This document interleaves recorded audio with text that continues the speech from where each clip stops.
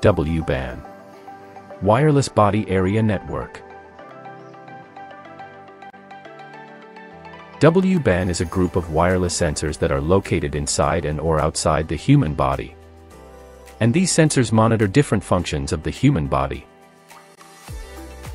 Sensors that helps to monitors different body functions can be dental implants, retinal prosthesis, pulmonary sensor, pacemaker or defibrillator, respiration sensor, liver sensor, orthopedic implant, pressure sensor, etc.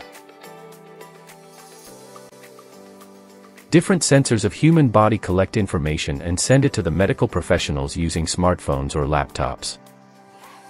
It helps to reduce in-person clinic visits because doctors can remotely monitor their patients.